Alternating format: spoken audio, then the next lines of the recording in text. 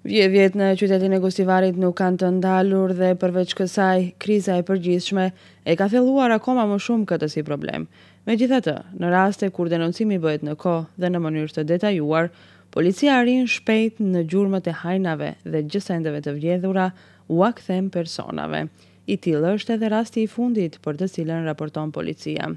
Dje më njëzet e gjashtë prill, rreth orës së pesëmbëdhjetë e pesëmbëdhjetë minuta, në rrugën Nikolla Parapunov në Gostivar, zyrtarët policorë të Sektorit të Punëve të Brendshme Tetovë, Departamenti i Punëve të Brendshme të Gostivarit, me urdhër të gjykatës, kanë ndaluar njëzet e nëntë vjeçarin me iniciale ZI nga Debreshi i Gostivarit. Ai ka qenë i dënuar me tre vite burg për shkak të kryerjes së veprave penale të dënueshme sipas nenit dyqind e tridhjetë e pesë që nënkupton vjedhje dhe dyqind e tridhjetë e gjashtë të Kodit Penal që përfshijnë vjedhjet e rënda,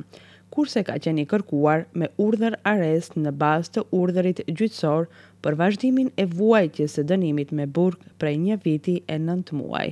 Menjëherë pas arrestimit, personi me iniciale ZI është dorëzuar në institucionin ndëshkues, korrektues, penal Burgu Idrizovës në Shkup, kështu thonë nga policia.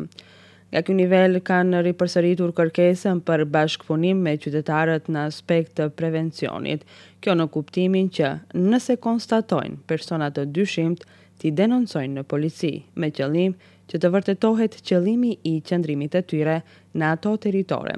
ndërkaq qytetarët nëpër shtëpitë e tyre apo vendet e punës të mos mbajnë gjësende me vlerë dhe shuma të mëdha të mjeteve financiare, por të njëjtat t'i sigurojnë nëpër vendet adekuate ku nuk mund të kenë qasje hajnat. Ndryshe, në kronikën e sotme të policisë raportohet edhe për një rast tjetër që ka ndodhur në Gostivar.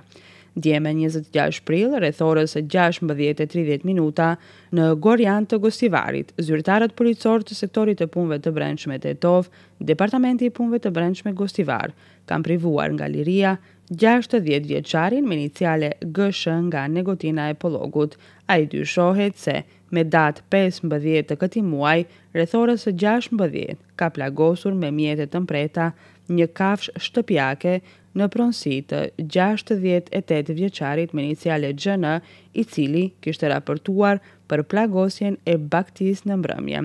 Rasti po zbardhet dhe dokumentohet dhe ndaj personit me iniciale GSH do të vijojë parashtresa adekuate përkatëse.